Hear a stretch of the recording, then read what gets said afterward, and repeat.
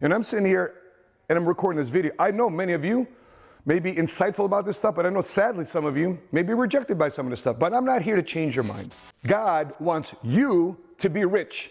God does not want you to be broke. What am I talking about? Let's unpack that together here in this episode of Seven Figure Squad happening in three, two, one. Let's go.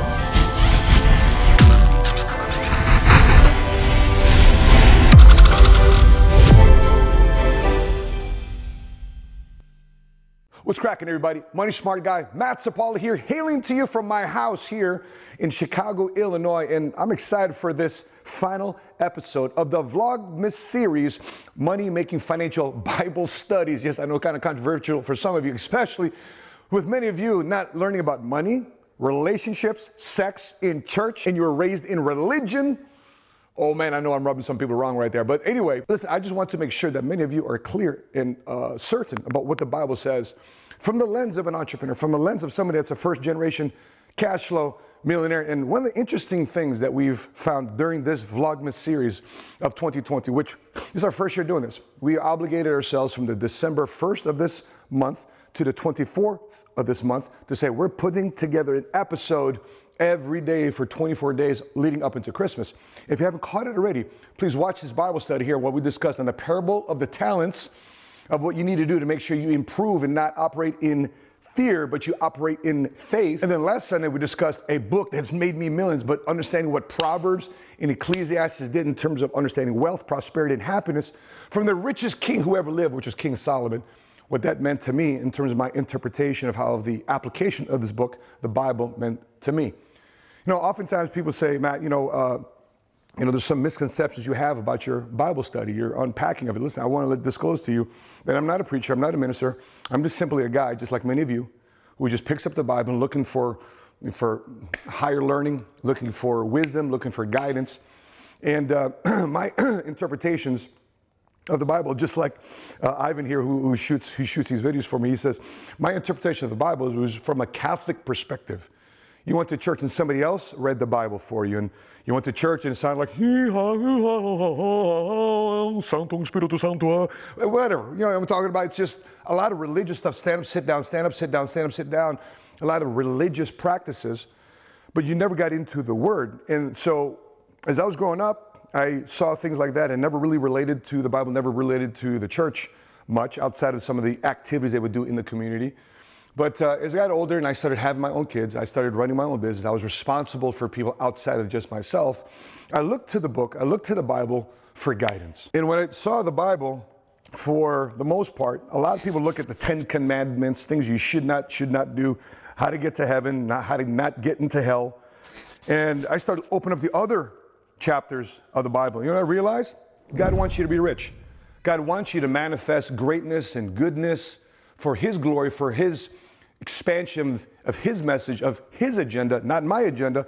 And I realized that long ago that money, money was just not something to swim around in and throw around in and disrespect, but money was just simply for me, in my interpretation of it, as a tool. And in my opinion, when God sent his son Jesus, which is really the, the motivation for Vlogmas or the Christmas season to remind ourselves what the birth of Jesus meant in our life and in the world, is that God didn't come down here to send his son to establish a religion.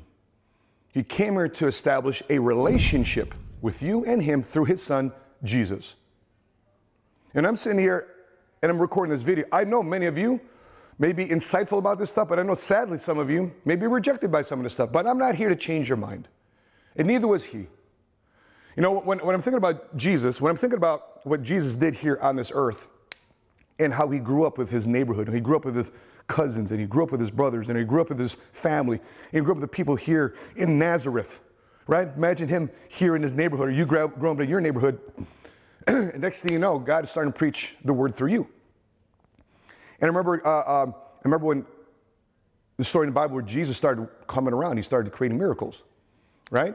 And, and, and, and next thing you know, people are gathering. Oh my gosh, Jesus is coming here. He's, Jesus coming here and he's here to create some miracles. Everybody, let's go down and see him. And, and the people that he grew up with, people are like, whoa, whoa what, what, I know Jesus. Is that the same Jesus we're talking about? The, the Jesus, the Nazarene, The, the kid from our neighborhood says, Yeah, that's him. Go see him. He ain't no Jesus. He ain't no son of God. Are you talking to me about him? No way. I don't believe him. well, that's what happens to many of you. When you go out there and you start to build wealth, you start to chase your dreams, you start to fulfill what you believe in your heart, you never know. And so when I'm reading the Bible, I, I look, at th- I look at it through those lens. I don't look at it through the lens of some uh, somebody just flipping through chapters and looking for God to say, okay, here's what we need to do. I'm actually looking, looking for insight and looking through that lens. So perhaps in this episode, I'll give you the reasons why God doesn't want you to be broke, but He wants you to be rich. Number one, how do I know that? Many of you have the famous saying to me, oh, man, it's easier for a camel to go through an eye of a needle than a rich man to get into heaven. Oh, so therefore, man, you shouldn't be talking about getting rich. You shouldn't be talking about making money. You shouldn't talk about being financially free. You shouldn't talk about being a millionaire. Well, I'll tell you this. I don't talk about being a millionaire just to be a millionaire, just to roll around in, in money and, and just to, to, to, to gloat about it. When I look at the financial resources that I need to raise my family, the things that I want to do in my ministry work and contribution I want to make to invest in businesses, I need to make a million bucks. Not because I just want to buy fancy cars or live in fancy homes or, or, or use money as a, as, as, a, as a status symbol. I use money as a tool. And when looking at Matthew uh, 19, which 24, which many of you say, oh, uh, it's easier for a camel to go through an eye of a needle than the rich man to get into heaven. For many of you that have those comments towards me, in fact, I agree with you. That if you think I'm going to be better than everybody else to get access to heaven because I'm rich, you're right. Uh, absolutely. However, I will say this though. If you feel that you've been blessed with a business, you've been blessed with a potential to go to school, you've been blessed to be a citizen in the United States of America, I believe that you have a higher obligation, be a better blessing, a bigger blessing to other people. And just, again, I just want to reiterate money is not a status symbol. Money, again, is a tool. Because if you go to number two, he also goes on to the teachings of the parable of the landowner and the workers in the vineyard. So people were working. This guy was making wine. He was growing grapes. He was growing uh, uh, olive, uh, uh, olives, and he had vines and, and all sorts of things on his farm. And he's going to be, he's going to people and say, hey, listen, you want to work? You want to work? Okay, I'll hire you. You want to work? Work? I'll hire you. I'll hire you. I'll hire you. Okay, you want to work? Okay, I'll hire you for this one. I think it was called a denarius. I'll give you this. I'll give you this. I'll give you this. And then part of this parable says, oh, he goes into the 11th hour. He says, do you want to work still? You want to work still? So hold up, wait a minute. In the 11th hour, so people didn't work eight hours in the Bible. people didn't work seven hours in the Bible. He said in the 11th hour, he was still hiring people to work for that day. So oftentimes we're, like, Matt, you know, I work too much. I work too hard, you know. You know, this pandemic told me to work from home and did it. Okay, understand what the pandemic, respect it. But here's the hard part with some people who are working from home. Sometimes people work from home and it's not getting the best out of them. It might be convenient for you. Just because you could do that doesn't mean you should do that. I mean, there's a bigger discipline of working in the office because now you're held accountable to somebody. Some of you call it a boss, and some of you who are entrepreneurs, you call it your customers, your shareholders, your board of directors. But he commands us not to be lazy because even in the 11th hour, he was still hiring people. This entrepreneur was still hiring people even in the 11th hour of that day. Okay, so he's hiring people and the day is done. Okay? And the workers come up and say it's time to get paid. And said, okay, for those of you who are hired in the 11th hour, pay them one denarius. For those of you who work in the first of the hour, pay them one denarius. And people are like, whoa, whoa, what? You telling me they work for a couple hours for you, they get paid the same amount of money that I got paid working through the heat of the day? Why are we getting paid the same amount of money? You know what he said? The, land, the, the, the said, We agreed to work for one denarius. I don't care if I hired you the 11th hour, the 12th hour. I, I, I gave you an opportunity to work for one denarius, and you said yes. So let me break this down some more. For those of you that said yes to 10 bucks an hour, 15 bucks an hour, 20 bucks an hour, don't complain. However, with that being said, you're not stuck there. Don't be lazy and say, hey, is there a way can I can I be part of this cash flow? Can I be part of this bonus system? Can I be part of this growth of this company? If I do my thing, if I'm not lazy, work that out with your employer. And for some of you that are entrepreneurs, this entrepreneur is still working the 11th hour, still working the 12th hour. I don't know, somebody around, around this country said it's okay to be an entrepreneur and be a minimalist, to work less and make more. Man, isn't that what everybody's dream would be? But that's not really the reality. You ask somebody if you really want to build a real business that creates real jobs, that makes real impact on people, not just for a lifestyle type of business, By the way, that's a different type of business. People have a lifestyle business. They have a business. They live, have a lifestyle versus people actually want to make an impact. Two, two different types of businesses. But if you want to build a business to make an impact, you build and create jobs. You build and create departments. You build and create other businesses, not just to be a minimalist. So therefore, you do a two, three, four hour, four hour work day, you get to live your life however you want to live it. It's no problem. But if you want to build something that lasts, that you want to create generational wealth, it's very hard to do something like that if you have a business that you're only doing for one, two, three hours a day. But if you want to build something that lasts, you cannot be lazy. And then number three, so what am I talking about? Specialize. Well, in the Bible, you know, you've heard the story of uh, Father Abraham. The old Bible song says, Father Abraham had many sons.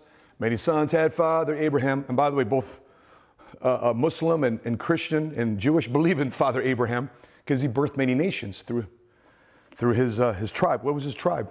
The, 12, the 12 tribes of Israel.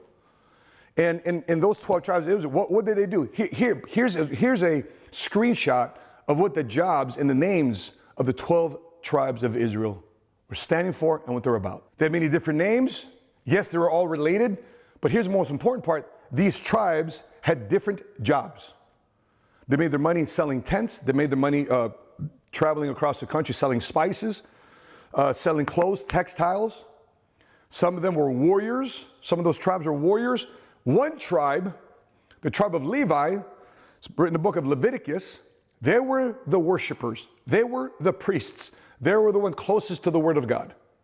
So their job didn't have any other work obligation because they were supported by the other tribes of Israel, but their job is to preach. Their job is to hold Bible study. Their job is to preach on Sundays.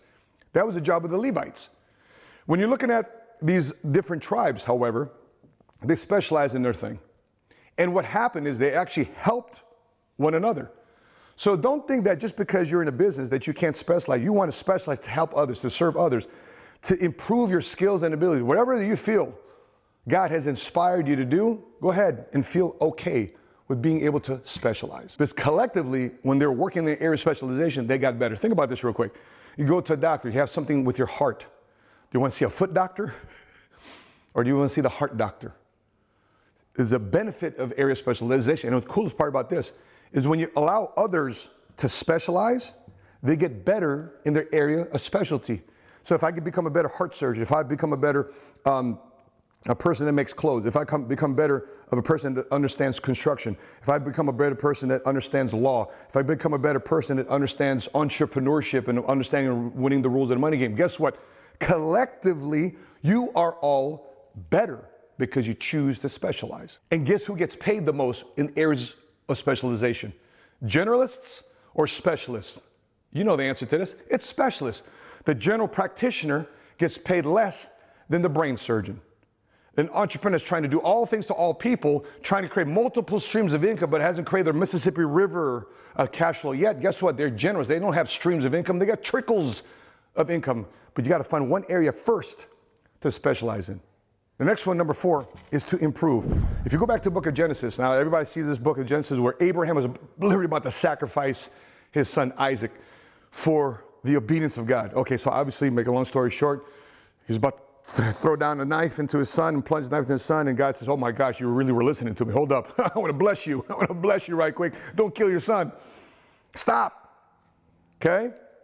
But if you continue reading in some, in some Bible studies, they stop reading at that chapter.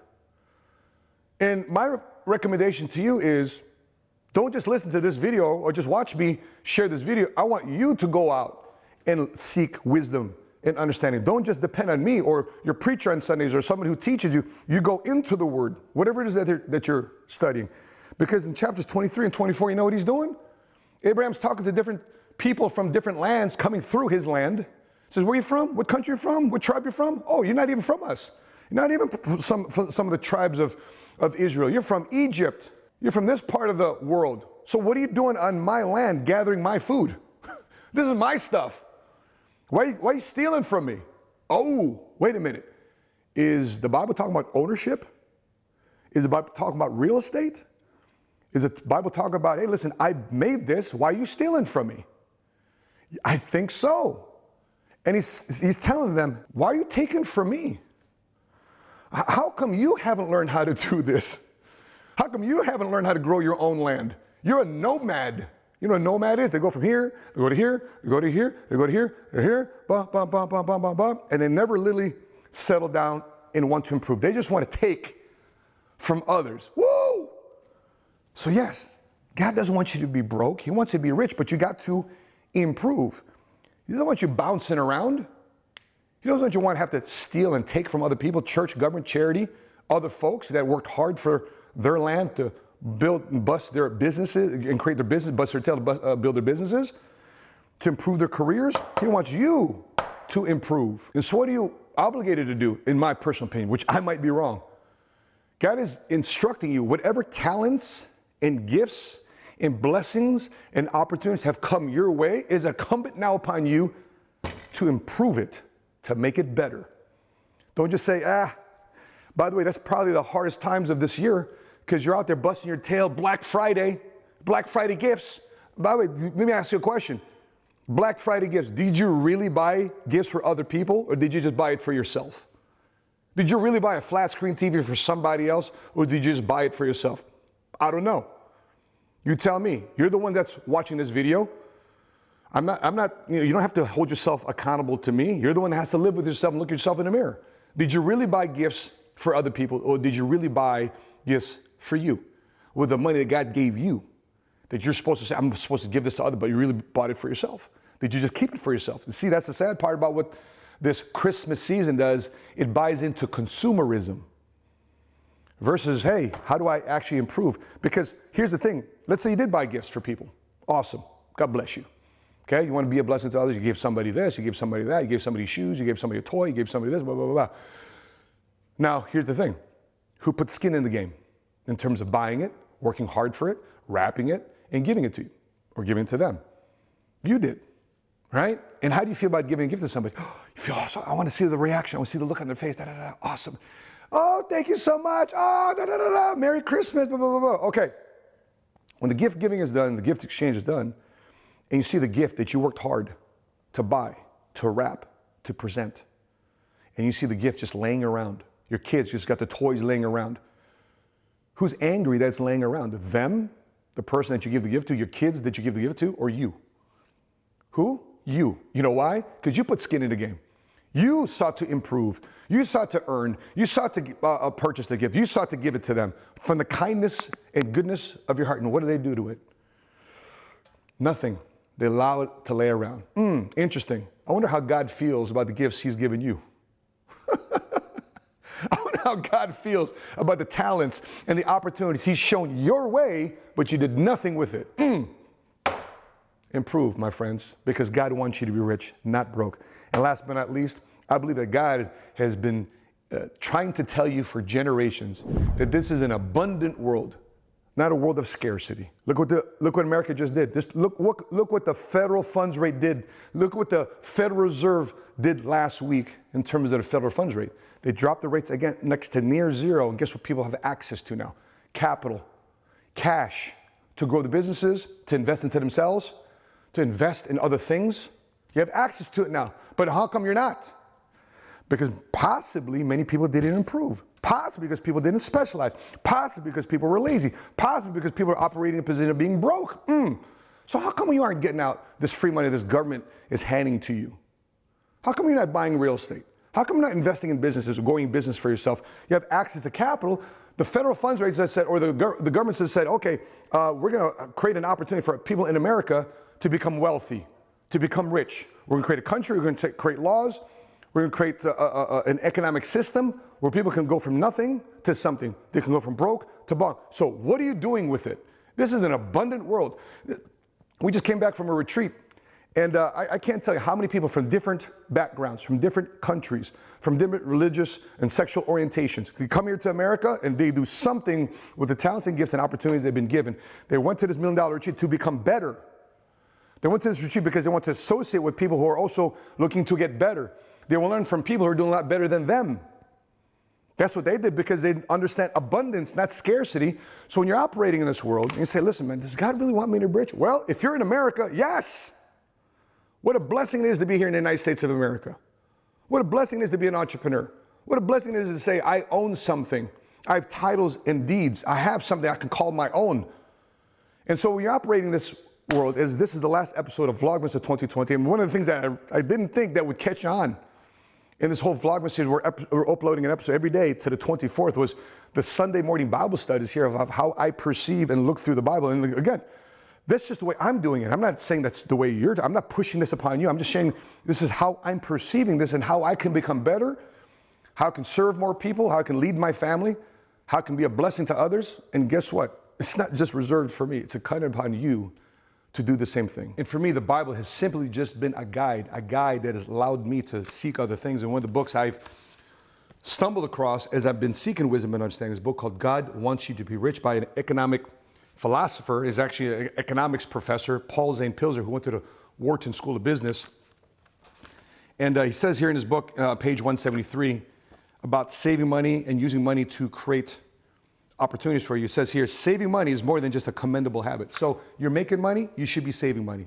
Why should you be saving money? It's to fund other businesses, to fund other things in your life. So he says here, saving money is more than a commendable habit. It is a personal act of faith, a form of self-denial that expresses confidence in the future. A person who denies current comfort and pleasure for future happiness is demonstrating his or her belief in a destiny that can be controlled and improved. It is one thing to pray in church for God's favor. It is altogether different proposition to deny your loved ones food, clothing, and shelter that they need now in order to have a better life tomorrow. And this is exactly what immigrants in the United States today and in the past have done for generations in order to take control of their destinies. Hmm, interesting. Think about that. Think about what opportunity you have here in the United States of America to become a better version of you and your last name to grow and improve over generations. So, as I wrap up, if you want to see more of these Bible studies from the lens of an entrepreneur, from the lens of somebody who's making millions of dollars a year and how we can apply it to their life and their business, their career, let me know in the comment section below if you would like something like this to continue. I was wrapping it up. This is going to be the last one because of uh, there's three Sundays in, in this December, this from the 1st to the 24th. I was going to wrap it up. But if you want to see more of this, please drop it in the conversation, the comment section below. Please keep this conversation going, Matthew about how you perceive the Bible through the lens of an entrepreneur. If you want to see more of these breakdowns happening, let me know in the comments section below.